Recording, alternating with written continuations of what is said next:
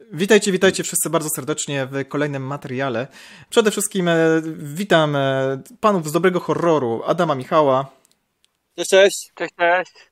A także i Łukasza Świniarskiego. Cześć. E, dzisiejszy Nasza pro... stała ekipa. Oczywiście, cała Sorry. ekipa, z czego się bardzo, bardzo cieszę. Tym bardziej, że mamy dzisiaj mm, poważny temat, powiem wam, e, bardzo ciekawy, a mianowicie porozmawiamy sobie o Gideon Falls. Mm, Komiks Gideon Falls, e, który, z, który spotkał się z wieloma opiniami i niekoniecznie pozytywnymi. I wiem, że zarówno wszyscy my, tak, wszyscy my przeczytaliśmy Gideon Falls i nie rozmawialiśmy o nim wcześniej. Tak ja nie wiem, jakie macie opinie związane z, z, tym, z tym komiksem i bardzo dobrze, ponieważ e, ten program chciałbym poświęcić na takiej rozmowie. E, Podzielimy się swoimi opiniami, e, wy się przekonacie, czy warto poświęcić czas na ten komiks, czy lepiej oszczędzić pieniądze i na coś innego. Zostańcie z nami.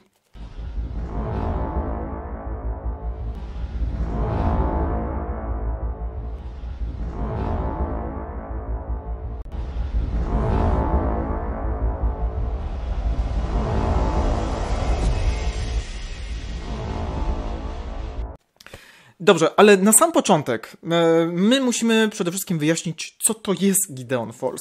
Oczywiście już zdradziłem, że jest to komiks, ale mam taką garść informacji z Wikipedii, pozwólcie, że to odczytam. Gideon Falls, amerykańska seria komiksowa autorstwa scenarzysty Jeffa Lemira i rysownika Andrzej Sorrentino. Pierwotnie wydawana w formie miesięcznika od marca 2018 do grudnia 2020 przez Image Comics. Po polsku serię opublikowało wydawnictwo Mucha Comics. Na początku w sześciu tomach od 2019 do 22 października 2021 roku. W maju 2022 otrzymaliśmy Omnibus.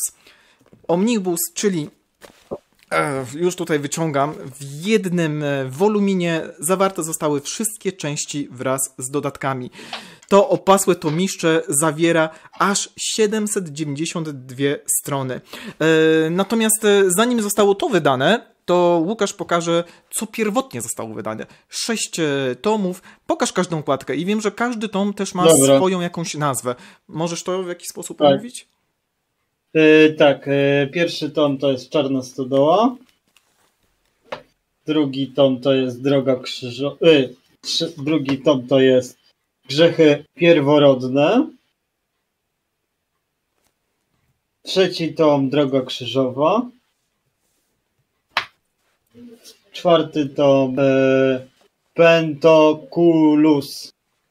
Chyba z łaciny. Mhm. Piąty tom.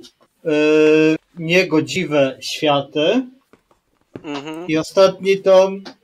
Koniec. Dobra, tak. Super. E, Sześć tomów, dzięki Łukaszu. E, Co jeszcze o samych twórcach, bo myślę, że tutaj jedno zdanie też powinno mm, się pojawić o, o samych autorach. Jeff Lemire, genialny scenarzysta, między innymi Podwodny Spawacz. Jeszcze nie czytałem, ale zostało mi to mocno polecone. Jest to... e, Mam to w kolejce do przeczytania. Aha, myślałem, że mam to i czytałem, no też nie. Ale Nie, nie czytałem jeszcze. Marta, którą tu serdecznie pozdrawiam, Ja e, ona, dla niej to jest, to jest, tak, więc e, to trzeba znać. E, Pożyczyłem chłopakom. jasne. Ja czytałem. Z kolei Sorrentino to jest rysownik, on jest tak specyficzny. I jest Batman Imposter, świetny, świetny komiks Joker Zabójczy Uśmiech. E, I panowie, nie wiem czy wiecie, ale ten duet e, Lemire i Sorrentino e, to nie jest po raz pierwszy w, Gideon Falls. Ja mam jeszcze jeden z najważniejszych, ponoć najważniejszych, Green Arrow. Tak? I, I wspólnie to mm, stworzyli. Lektura jest przede mną. A wy znaliście, czytaliście? Mam na półce. Nie, nie. Bardzo Nie, dobre. nie. Mhm.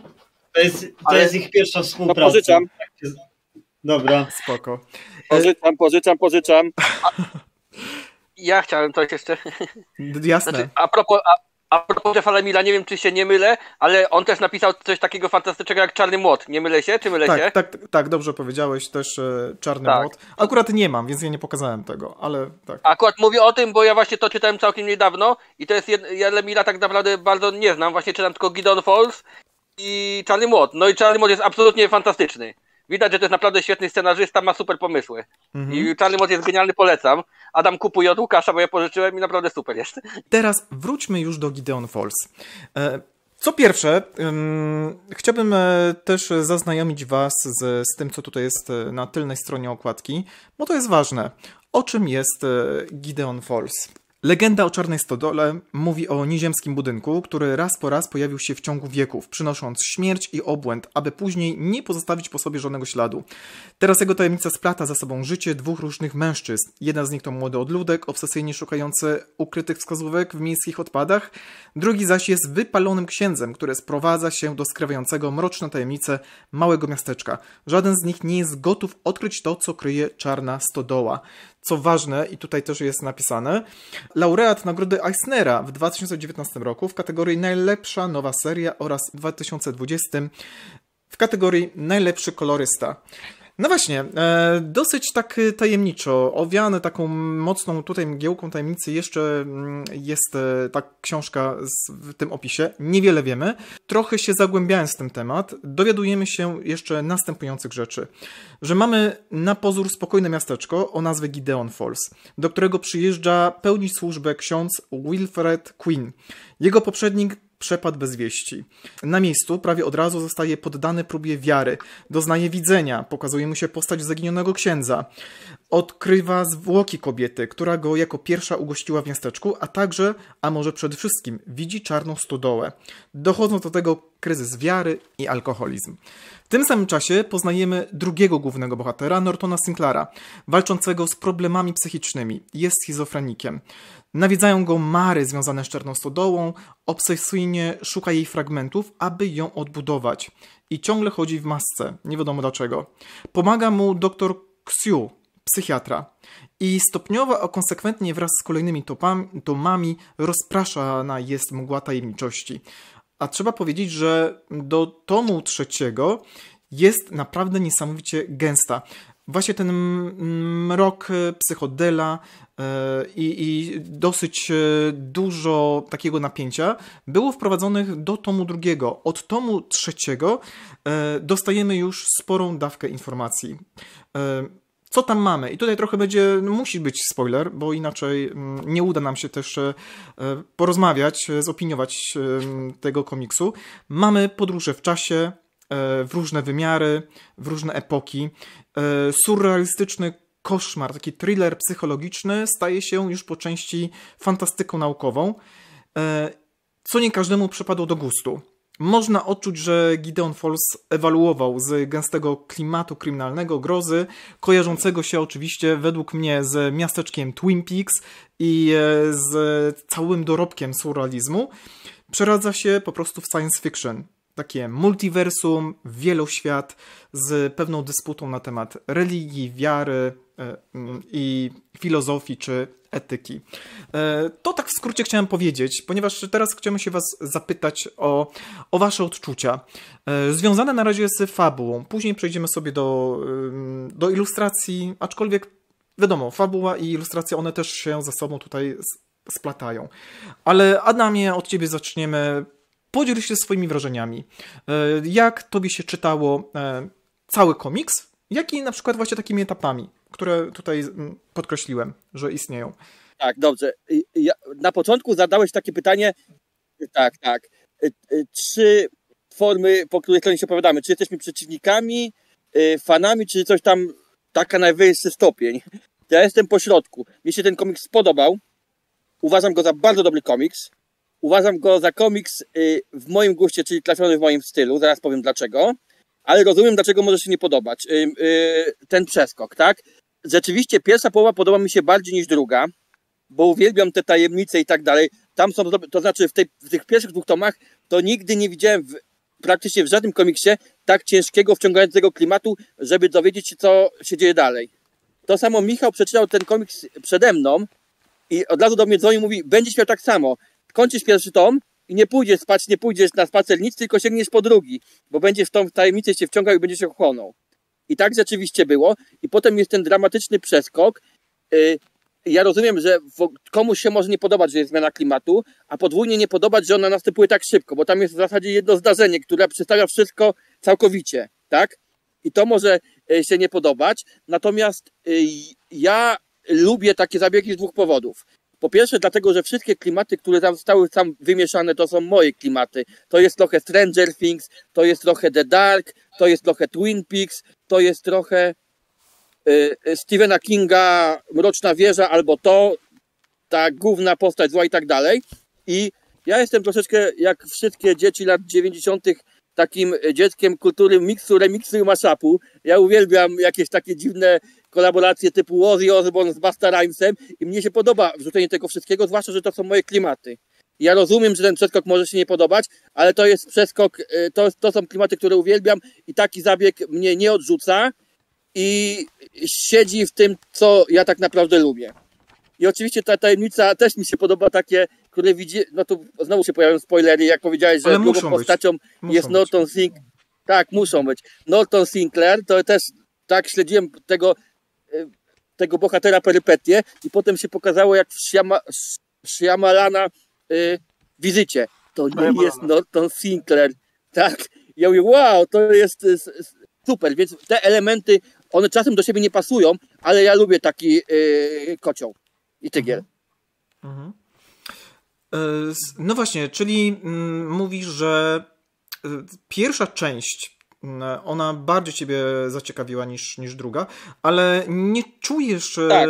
nie czujesz takiego zgrzytu e, tą, e, mm, tą odpowiedzią, że jest taka, Może a nie inaczej. inna mm, e, odkryta karta, że wiemy już e, o co chodzi. I tak i nie, bo ja czuję ten zgrzyt, ale ja lubię takie dysonanse eksperymenty. Po prostu je lubię. Lubię, wiecie, we, we wszystkim. Gdzieś jakiś niepasujący element, który wyciąga charakter tej opowieści. Mhm. Jestem No, takim trochę wielbicielem asymetrii, o. Dobrze. Nie lubię do, dobrze ułożonych rzeczy. Jakbyście weszli do mojego pokoju, to byście zobaczyli, że porządek nie jest moją specjalnością. Także lubię takie rzeczy. No, mo- możliwe, że we wrześniu będziemy mieć okazję. O, na pewno, na pewno. E, Dobrze, bardzo fajnie, dzięki e, Adamie. E, Tutaj Adam wspomniał o tobie, Michale, że spodobałoby ci się. I czy podzielasz cały ten komentarz, wszystko co powiedział Adam, czy chciałbyś coś dodać od siebie, że jednak jakieś różnice A między ty- wami są? To chciałem powiedzieć, że generalnie podzielam to, co Adam mówił. Też jestem trochę po środku, też mi się ten komiks podobał, ale muszę wytknąć pewne błędy, które mnie bolą w tym, y, w tym, tym. Po pierwsze, on mi się podobał, ale y, właśnie niekoniecznie ze względu na, znaczy im dłużej o nim myślę, tym dostrzegam więcej minusów. Ale on mi się podobał, bo po prostu wciągał, wciągnął i nie mogłem się oderwać. I chyba o to chodzi. Dlatego można polecić ludziom, którzy chcą po prostu być chłonięci i przyjemnie spędzić czas ale im dłużej myślę, tym dostrzegam y, rzeczy, które są wkurzające. Adam tu napomknął o tym podobieństwu do Mrocznej Wieży i tak dalej. Dla mnie to aż było momentami chamskie trochę i jak sobie o tym pomyślę, to, y, to było trochę wtórne, jak ktoś czytał Mroczną Wieżę i to, i to jest najlepsze. Jeff Lemire, tutaj on się nie tylko tego nie wypiera, ale on to podkreśla. Dla mnie to nawet momentami się ociera o, o plagiat. On tu, nawet jest tam taki tekst, że są y, nie wiem, czy zwrócicie to uwagę, nie wiem, czy czyta się Mroczną Wieżę, ale tam jest taki tekst, że są światy inne niż ten. Y, W, w, w, jakimś tam momencie, w czwartym tomie. I to jest żywcem wyjęty tekst z Mrocznej Wieży, który jest w zasadzie puentą całej Mrocznej Wieży. I on tu chyba y, zostawił wskazówkę, że to jest żywcem wyjęte i tak samo 100. W to mamy Wielkiego Pająka, tu mamy spoiler Wielkiego Karalucha i to jest przeniesione jeden do jednego. Jak sobie o tym myślę, to tu troszkę Lemir poszedł na łatwiznę, co mnie denerwuje. I, a co do, tego, co do tego przeskoku, no to moim zdaniem y, był ten dysonans. Te tomy, po, y, drugie, druga część tomów, było to trochę za długie i mnie to męczyło, bo przez trzy tomy fajnie budowali świat, a potem przez trzy tomy się ganiają. Ja nie mówię, że sam pomysł był zły, bo takiego dama mi się podoba, ja lubię te dysonanse, ale y, gdyby na przykład były cztery tomy tajemnicy, a dwa tomy ganiania, to moim zdaniem byłoby lepiej. A to czytam, czytam, dzieje się biegają i co? I, i pierwszy tom, drugi, trzeci tom, troszkę te proporcje były źle rozłożone, bo człowiek nastawia się na tajemnicę i powinno być y, długa tajem, długie budowanie tajemnicy z y, epickim z szokującym finałem o multiversach. I to by była dobra puenta. A potem cały ten horror zanika, a my się nastawiliśmy na horror. Oczywiście Mhm. były te brutalne sceny, ten karalu wchodząc do jeziora, to działało. Ale po, po dwóch, trzech, czterech takich zagrywkach to się robi trochę monotonne. I to cię, ten komik cierpiał na jeszcze jeden problem, o którym wspomnieliśmy przy Stranger Things, to akurat on tego uniknął. Że tyle budowano, budowania tajemnic, różnych zagadek, ciekawych wątków, a potem jak to rozwiązać. I wrzucili to wszystko i to nie zawsze, żeby to zagrało, to trzeba by naprawdę super pomysłu, a tutaj trochę było taka yy, wtó- yy, te to pomysły były trochę wtórne i było sięgnięcie po te zagrywki, które już były właśnie w innych y, rzeczach tego typu, The Dark i tak dalej. No ja, ja to lubię, ale mia... tak, ja, ja to lubię, ale miałem wrażenie powtarzalności i pójścia na łatwiznę. Chociaż jak mówię, y, polecam ten komiks, mi się podobał, bo po prostu wciąga i nie można się od niego oderwać. A dopiero po tygodniu lektury zastanawiam się, a to już było, a tu trochę przeciągnęli, przedłużyli i, i tak dalej i trochę nie rozwiązali tego w taki sposób, jaki człowiek by się spodziewał po pierwszych czterech tomach. Mhm. Chociaż wzor- wzorcze są szlachetne, bo Stephen King, y, te całe Twin Peaks, no to, to, to, to, to super, nie? Tylko z takich rzeczy czerpać, ale może troszkę mniej wtórnie jednak. Dobra, wiesz co, y, ale mam do ciebie jeszcze jedno pytanie w takim razie. E, Tutaj mówisz o tym, że e, Jeff Lemire czerpie garściami właśnie z takich klasyków. Mamy Kinga, mamy Lyncha, tak? Ale mm, różnica między Gideon Falls a tymi mm, w sumie też kanonicznymi już utworami jest taka, że Gideon Falls on pokazuje już jak krowie na rowie. Wszystko. Tam z kolei jest ta tajemnica dalej. Oczywiście otrzymujemy jakieś mm, takie przebłyski, jakieś rozwiązania, ale zawsze tam jest Tak. jakieś niedopowiedzenie. Tutaj już my to mamy.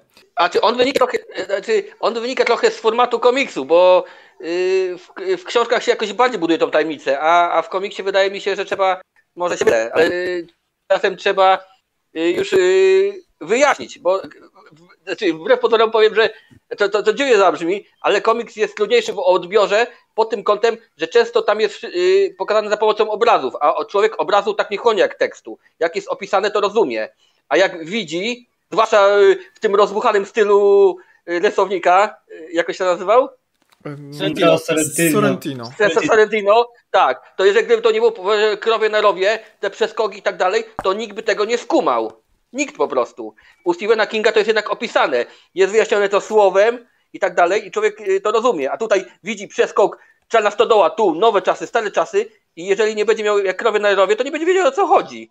I dlatego ja rozumiem, y, że to musi być tak pokazane. E, I był ten dysonans, ale to już jest y, na karp konwencji. Mhm. Jasne, dzięki. po, na, na, no, znaczy chciałem jeszcze akurat powiedzieć, że tak naprawdę to jedna rzecz, akurat, y, ja, ja- jak tu powiedziałeś o tym, że on czerpie garściami. Faktycznie to jest, nie jest takie złe, bo w Czarnym Łocie też czerpał garściami, zgodzisz się ze mną Łukasz, bo tam było Tak. i Sandmana i w ogóle, ale tam to nie, nie bolało i to było nawet pomysłowe, ta rekultywacja, czy jak to powiedzieć. A tutaj y, bolało, bo on wziął żywcem mroczną wieżę, a ten pomysł był tak oryginalny, że wzięcie go jednego, jeden do jednego jest trochę dziwne, bo to od razu go się rozpoznaje. I ten pomysł jest za bardzo oryginalny, za bardzo dziwny i pomysłowy, żeby tak żywcem jeden do jednego. Tam mamy mroczną wieżę, tu mamy czarną stodołę, tam mamy multiversum, tu mamy multiversum, tam mamy tą pustą działkę z różą, tu mamy też tą pustą działkę, a w innym miejscu stoi czarna stodoła, na tym się pojawia. To jest takie do jednego, a pomysł jest tak I wyjątkowy, pająk. że. A, no i pająk, tak. To jest, y, gdyby to był pomysł bardziej w kulturze y, popularnej występujący, to, to bym się nie czepiał, ale to jest je- jeden do jednego przeniesione z Mrocznej Wieży i dla mnie to jest dziwne. No dobrze. Chociaż, no, No. to, nie, chociaż, chociaż, nie, chociaż oczywiście to jest y, y, dobry wzór do naśladowania, ale może nie tak jeden do jednego. Mhm. Dobrze, dziękuję Ci, Michale. To teraz, Łukasz, pozwoli, że ja się podzielę swoimi wrażeniami na temat tego komiksu, ponieważ Ty mi go poleciłeś.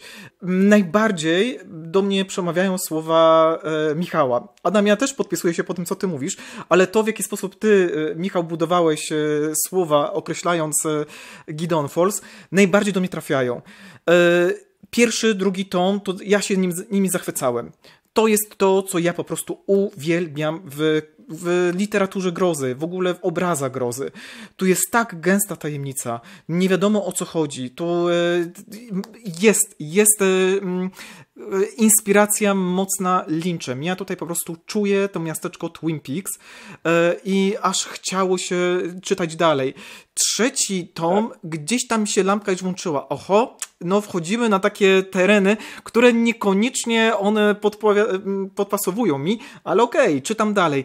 I im dalej idziemy w las, tym e, bardziej czułem się rozgoryczony, rozczarowany tym, co ja tam widzę. Nie mówię, że komiks jest zły, ale to nie jest e, do końca coś, co mi podpasowuje. Multiversum, e, wieloświat e, jest ciekawym rozwiązaniem i rzeczywiście ja go też już doświadczałem, czytając inne książki, oglądając filmy i czytając oczywiście przede wszystkim komiksy. Ale to, co ty, Michale, powiedziałeś, dla mnie to jest rozwiązanie bardzo łatwe bardzo proste, bo w multiversum naprawdę można tutaj wszystko, po prostu wszystko zmieścić, co by się chciało, e, ale to jest rzeczywiście takie pójście na łatwiznę.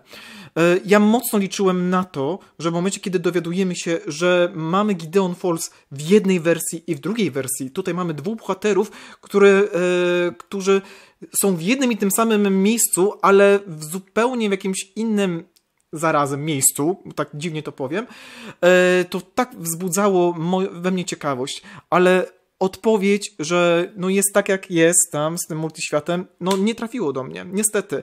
Ja liczyłem na to, że Lemir e, w swojej wybitności, w swoim geniuszu pójdzie dalej w kierunku tej tajemnicy i on będzie się bawił nami praktycznie do samego końca i chciałbym, w sumie jeżeli już wybiera ten multiversum, żeby ta odpowiedź nie była już w trzecim tomie, ale żeby ona znalazła się w szóstym. Na samym, na samym końcu. A tutaj po prostu dał nam już rozwiązanie praktycznie na początku, czy w sumie w połowie, nawet więcej niż w połowie. I, i tak e, podrzuca nam e, różne. E, nie wiem, gatunki, różne dziedziny, tak, jakieś tam rozważania filozoficzne, religijne, pokazuje nam wiarę e, i że tę wiarę można naprawdę w taki sposób e, mm, kontrowersyjny przełamać, tak, poddaje, poddaje wielkim obiekcjom to, w czym my tak naprawdę jesteśmy, mm, nie wiem, wychowani, stworzeni, nasza cywilizacja. Okej, okay, ale nie tego się w sumie spodziewałem. Spodziewałem się po prostu e, tego klimatu grozy, aby on rósł. I ten punkt kulminacyjny pojawił się na samym końcu. I myślę, że to jest mój taki największy zarzut. E, czy go polecę? To za chwilę o tym powiem. E, za chwilę jeszcze porozmawiamy o całokształcie, o, o tych ilustracjach, bo one też nadają pewien charakter komiksowi. Ale moje wrażenia były takie. E, ja przeczytałem go bardzo szybko.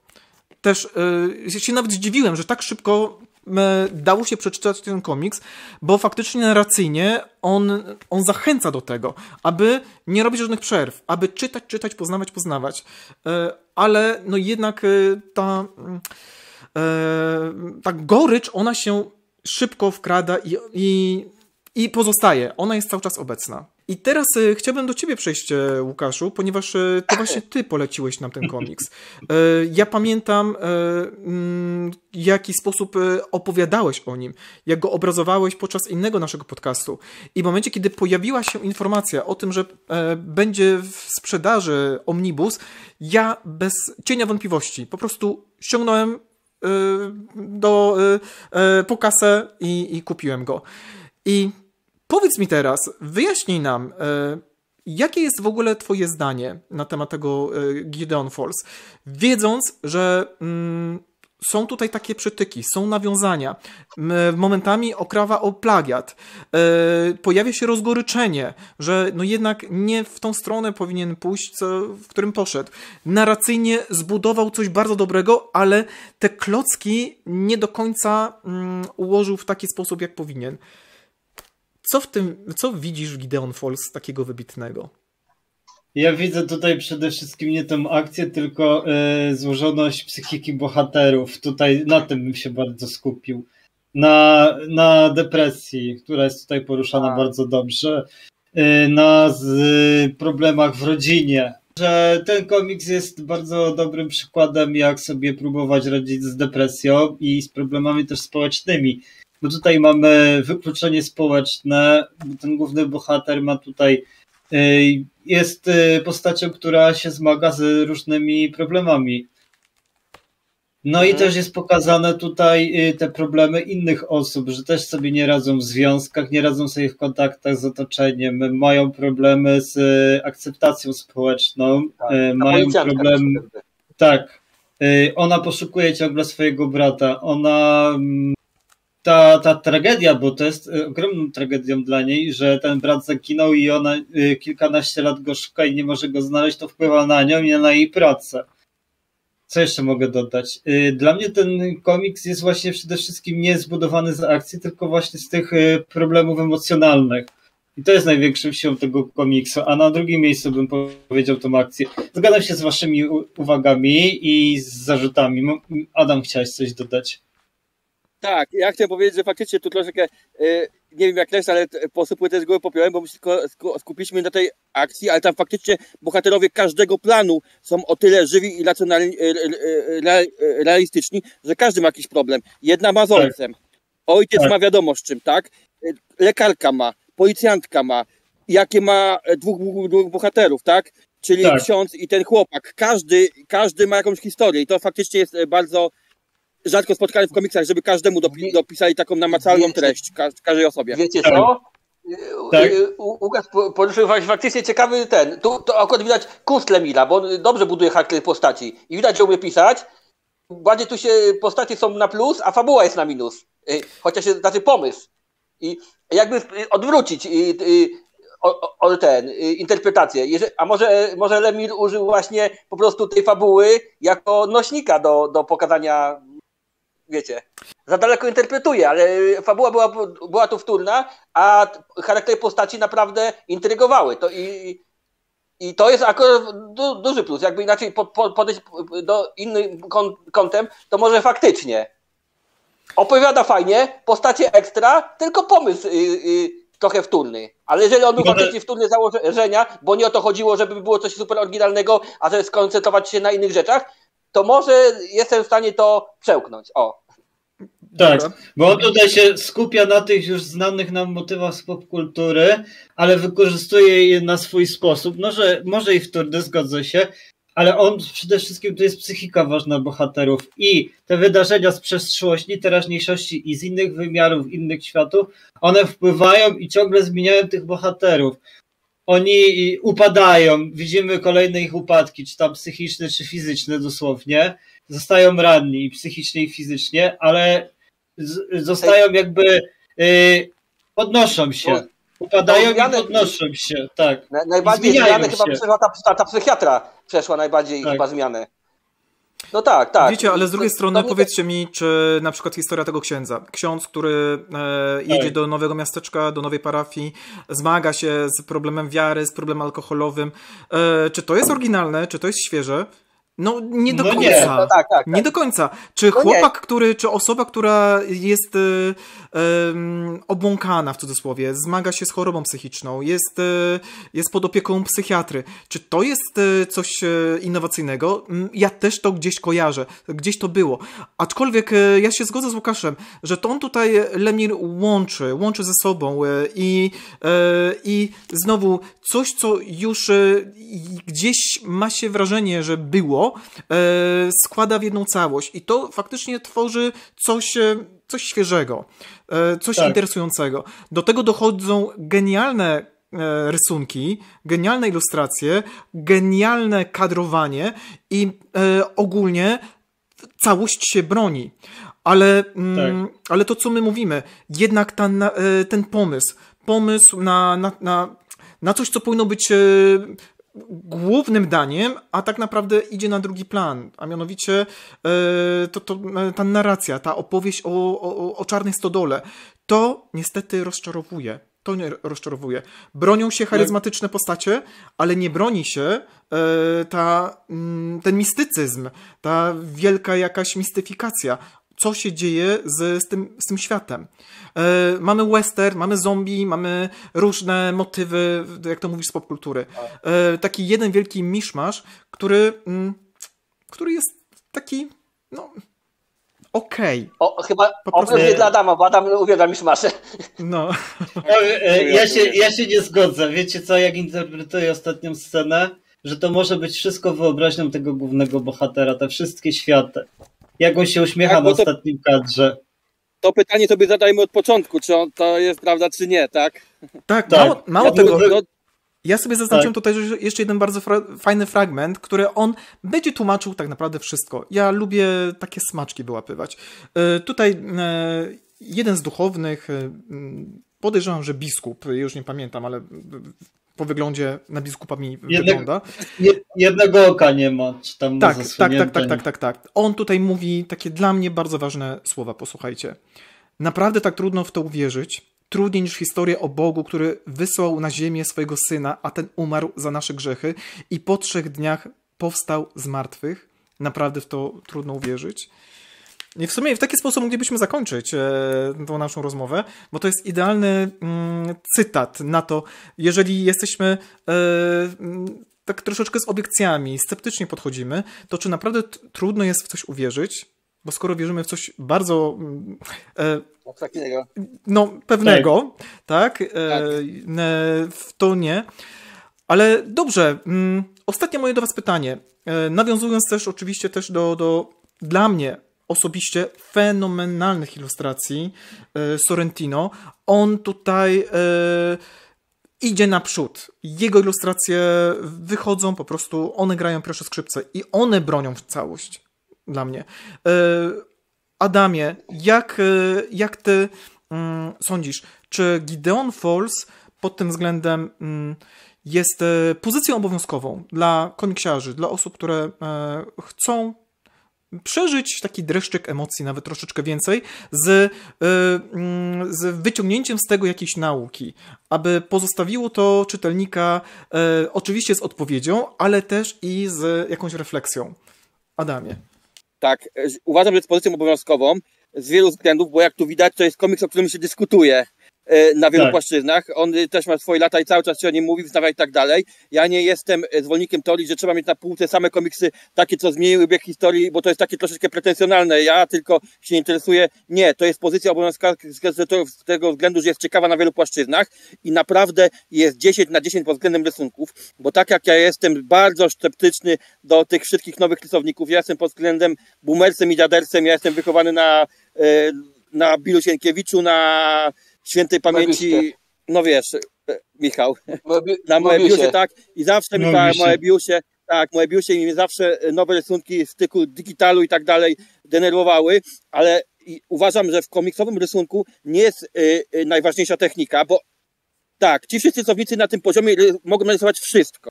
Najważniejsza jest kompozycja i, i pomysły na to. I tu Narracja. Sorrentino przekracza, bo Narra- jak czyta się komiksy, gdzie ktoś nie ma pomysłu, to tak, narracja, narracja obrazem. Bo jak się, czy, tak, jak ktoś nie ma pomysłu, to jest tak, gadająca głowa, gadająca głowa, gadająca głowa i się czł- człowiekowi w ogóle y, to wszystko nudzi. Ja na, na, na przykład jestem największym fanem tego, na przykład co zrobił Pols Funky Kowalu, Funky Kowalu, bo tam nie jego technika jest y, y, najlepsza, tylko sposób opowiadania, gdzie w ciągu 48 stron jest w ogóle y, spisek, akcja, potrafi po prostu w trzech kadrach zrobić taki ten. I tu jest to samo, że on z kilkoma kadrami potrafi ci pokazać świat, jego dziwność, problem.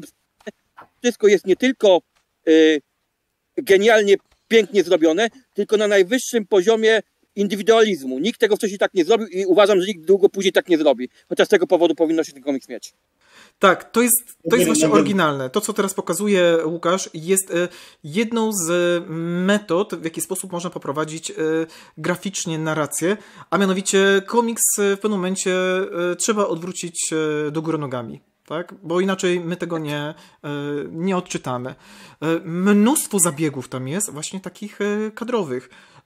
Zabawa formą. To jest rewelacja. Tak To ja jest. mogę, czy Łukasz? E, Łukasz, Znaczy, Łukasz, bo- bo ty, ty, tam e, zacząłeś pokazywać. Okej. Dobra, dwa Łukasz, mów. Powiem tak, no mówię, ja jestem zachwycony i ja się w większości nie tyle nie zgadzam, no ja tu będę najbardziej pozytywnie oceniał ten komiks, no mówię, przede wszystkim ta warstwa psychologiczna. To jest najlepsze w tym komiksie. Na drugim miejscu mówię, jak już wspomniałem, oceniam warstwę tą e, sensacyjną, przygodową, jak zwał, tak zwał. Ale no mówię, warstwa psychologiczna i te sylwetki bohaterów, e, jak oni się ciągle zmieniają. I to mi się podoba, że oni nie stoją w miejscu. Oni upadają, oni się podnoszą, oni mają, yy, się wkurzają, denerwują na siebie i mają bardzo dobrą chemię między sobą.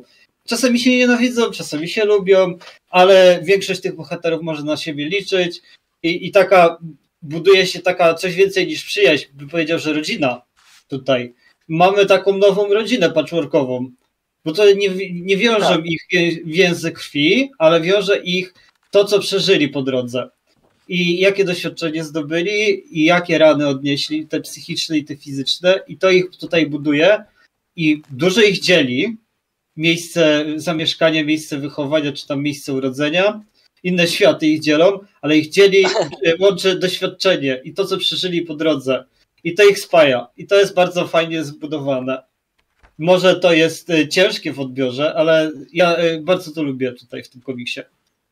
Super. Dobra, Michale, e, a twoje takie ostatnie to? Ja, ja, Okej, okay. ja w skrócie powiem właśnie o rysunkach i podsumuję, czy jest warty. Ogólnie tak. Rysunki faktycznie są genialne, epickie, ale one są też bardzo rozbuchane. Ludzi, podejrzewam, że niektórych to może drażnić, ale one to, to jest zabawa formą, ale to jest zabawa formą, która to już powtarzam wiele razy. Przy tym multiversum w wielu światach to jest genialnie współgra Y, Sorrentino tu zrobił właśnie niesłychaną rzecz i to doskonale pasuje. I powiem tak, ja uważam, nie wiem czy to jest konieczność, y, żeby, ale uważam, że tego jest, jest bardzo warte zakupu. I podsumuję tak. Rysunki są genialne. Dla samych rysunków by warto. Dwa, postacie są świetnie napisane i przyjemność lektury jest bardzo duża. I mało tego, sprawdza się jako horror, bo pierwsza część jest genialnym horrorem, a druga, mimo że jest rozczarowująca pod względem pomysłu, te sceny brutalne z tymi robalami co ten, to też fanów horroru usatysfakcjonują. Może nie horroru typu Twin Peaks, ale horroru typu Piła, ale one też są przerażające. Jak ten kanał uchodzi z jeziora, to ja się normalnie złapałem za serce i, i to też działa. Tu jest tylko jeden wielki minus i on jest naprawdę bolesny, ale do, dopiero go się dostrzega po y, odłożeniu na półkę, bo, w czasie, bo y, y, przyjemność lektury jest wspaniała. Ze względu na te rysunki, które się chłonie, bohaterów, których się lubi i którymi się współczuje, którym się współczuje i tą tajemnicę, a później tą brutalność i tą, tą akcję, to po prostu y, skłania, żeby nie odkładać komiksu.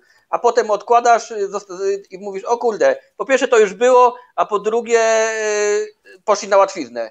Ale w czasie lektury się tego nie zauważa, no akcenty są trochę źle złożone. I po, tu Sylkowi przydam, zarąbiście rację. Powinno być 4-5 tomów tajemnicy i finał. Bo pomysł, mimo że wtórny, jakby był podany tylko w finale, to by nikt tego nie zauważył a później do, do, dostrzega coraz więcej podobieństw, coraz więcej zgrzytów i tak dalej, dlatego że jest przyciągnięty. Mhm. Mimo, że czytając się tego, yy, czytając i tak się nie można oderwać, bo się za dużo dzieje i te pomysły są za bardzo fajne, po prostu są fajne, bo wszyscy to lubimy, lubimy i ten nawet ten western i ta cała brutalność i tak dalej. Polecam, polecam, nie wiem czy to jest konieczne, żeby mieć, ale jest na pewno warty swojej ceny. No mówię, wygląda na fantastyczne rysunki, przyjemne z lektury i świetnie napisane postacie. Mhm. Dzięki Michale. I jeszcze moje takie ostatnie zdanie, już powiedziałem o tych rysunkach, które są naprawdę przegenialne i, e, i ten motyw, chociażby też z wiarą, on jest mocno kontrowersyjny, ale jednak jest zauważalny. Ja chcę chociaż takie e, pewne, tak. pewne kadry pokazać. I, i tak, mm, ja mm, ja podejrzewam, że czułem rozgoryczenie e, z jednego podstawowego powodu, ponieważ ja miałem zbyt duże oczekiwania względem tego komiksu. E, on mi mocno został polecony przez ciebie, Łukaszu, i ja sobie po prostu gdzieś tam wyobraźni spodziewałem się wow. Po prostu efektu wow, że szczęka mi opadnie i ten komiks y, y, mnie tak, nie wiem, y, po prostu pozamiata mną, że, że będzie dla mnie czymś idealnym, tak jakimś kanonicznym. Zwłaszcza, że początek, początek obiecuje takie rzeczy. Zwa, dokładnie, tak. zwłaszcza, że ten początek był dla mnie fenomenalny. Nie wiem, czy nawet pamiętasz, Łukaszu, ja nawet tobie e, pisałem w pewnym momencie, wow, to, to jest w taki sposób, tak? Tak, tak? ja się tak, naprawdę tak, tym tak, ekscytowałem. I później, niestety po tych e, e, najwyższym e, napięciu, po prostu wszystko mi tam e, to, to całe napięcie opadało. E, z takim, no mówię, małym, małym rozgoryczeniem. Ale, ale jest tam napięcie, jest groza, jest fajna akcja, są charyzmatyczne postacie, e, mnóstwo poruszonych e, tematów.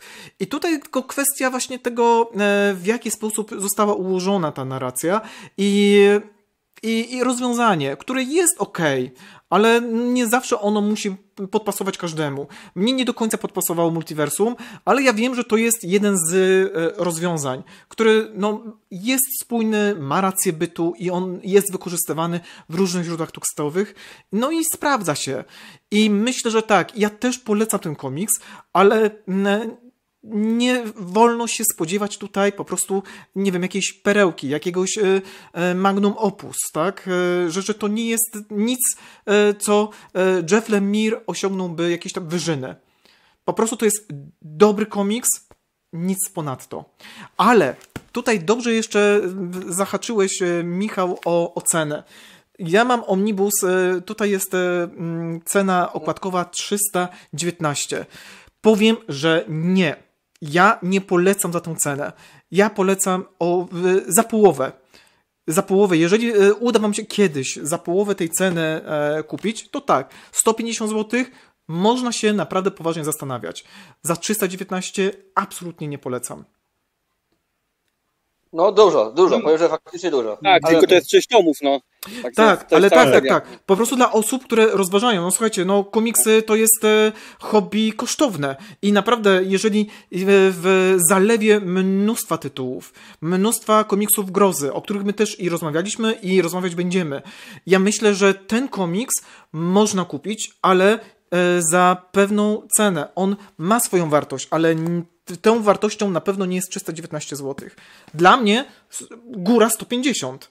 E, Łukasz, za ile ty byś kupił ten komiks? Yy, a czyli to wydanie grube, czy te sześć to tomów? E, w, su- w sumie. Ja po- powiem, powiem, że w w sumie. sumie. W sumie no to około 200 maksymalnie bym dał. Dobrze. Maksymalnie. Michał. O, o tym samym myślałem. Że ja myślałem, że do, do, do 200 mógłbym dać, bo ja lubię zbierać komiksy, ale faktycznie to jest naprawdę dużo, bo za 300 to już można naprawdę maksymalne perełki. Ja za 300 chyba kupiłem y, w boksie y, jak się nazywa ten y, erotyczny komiks? Zaginione dziewczęta. Zaginione dziewczęta, no i to wiadomo, że kupiłem białego kruka, który miał jeszcze grubszy niż to i dam za niego 300. No tak za 300 mogę kupić biały kruk, który nie jest nigdzie dostępny i naprawdę jest y, genialnym komiksem, jednym z naszych wszechczasów, no to, to faktycznie, ale 200 zł mógłbym dać 180, może tak. Dokładnie, dzięki. I Adam, ile ty byś dał za ten komiks? Ja, Tak. Tak. Tak. Ja, bym, ja bym powiedział, raczej troszkę wie- więcej bym się zmieścił w 250, bo jak to jest 6 tomów, to myślę, że tak każdy tom 4 dychy to jest jeszcze cena e, aktualna za to. Ja więcej płacę za The Boysów e, o podobnej grubości w papierowej, e, w miękkiej okładce, a tu mi pasuje właśnie tak 200-250 to jest ta cena, która dla mnie jest uczciwa. Dobrze. Ale to ze względu też na objętość, bo to jest jednak dużo tomów, Tak, nie? tak. Ale Tak. Znaczy dla Ja- mnie ja kategorię bym- warto czy nie warto. E, No jednak e, przedmiot e, ma swoją wartość taką, Tak, tak. ile byśmy po prostu dali pieniędzy za, za ten przedmiot. Po prostu tyle. ja, tak, tak, tak. Tak. Ja 250 nie Musiałbym dałbym. by- Okej. Ja musiałbym prześledzić ile, ile, ile te, bo Cosmopolitan też sobie kupowałem i też chyba dałem podobne ceny, a jest lepszy od Gideon Falls. Dokładnie.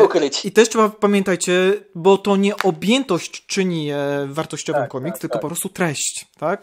To w jaki Tak. sposób my odbieramy ten, ten tekst.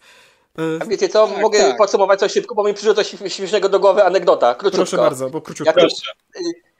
Bardzo krótko, bo y, ty mówisz o, o Lemirze, on jest genialnym y, y, pisarzem i zastanawiam się, czy my po prostu y, mówisz, że byłeś rozczarowany lekko, ten, może dlatego, że wymagamy od niego zbyt wiele. Jakby to nie był Lemir, to byśmy się zachwycali. To tak jak w Kłowadi z Petroniusz powiedział do Nerona, że każdemu innemu pisarzowi y, przyznałby geniusz, tak? Nawet Homerowi Owidiuszowi, ale od niego wymaga więcej. A Dlatego ja- to jest nie. to samo. Nie, nie zgodzę się z tobą. Ja nie podchodziłem tego, Nie? do tego w taki sposób. Nie, dla mnie Jeff Okej. Lemire, ja jestem y, w sumie osobą, która wchodzi w ten świat komiksowy E, i ja nie patrzyłem z, z takiej perspektywy. Nie patrzyłem na to No w dobra, to, sposób. to, to, to fajnie, że tak, tak powiedziałeś, bo ja odniosłem takie wrażenie, Nie, nie, że, że nie. Lemir, że ten, a tak dalej. Nie Okej, miałem takiego no dobra, oczekiwań to względem mamy, autora. Słuchajcie, to mamy jasność. Dokładnie, dokładnie. Podsumowując e, ten nasz podcast, e, czy tę naszą rozmowę, uważam ten, e, tę rozmowę za naprawdę bardzo cenną, ponieważ mamy cztery osoby i każda osoba poniekąd inną, inne stanowisko e, reprezentuje, czy prezentuje, inne stanowisko prezentuje w stosunku do Gideon Falls. I to jest właśnie siła tego komiksu. I Tak. oglądając ten nasze, tę naszą rozmowę, można wy, wywnioskować, można sobie wybrać e, tę postawę, która bliższa jest tobie, e, drogi widzu. Jeżeli jest tobie bliższa Łukasza, postawa Michała, Adama czy moja, to po prostu wiesz, Czego oczekiwać? czego się oczekiwać tak. po tym komiksie. Ale tak, i ostatnie zdanie, e, które tutaj już padło, e, i to chyba Adam mówiłeś, e, siłą tego komiksu jest to, że można o nim rozmawiać, tak? I wiele o nim można mówić, i dobrych, i, e, i, i nieco mniej pozytywnych e, uwag. I to jest właśnie e, siła, jeszcze raz powtórzę to słowo, siła tego komiksu. Ze mną był Adam, Michał z Dobrego Horroru Cześć. Cześć. oraz Łukasz Świniarski, Cześć. a ja jestem Sylwek i widzimy się następnym razem. Oraz Sylwek z kanału Sylwek. Cześć. Cześć. Hej, hej. Cześć.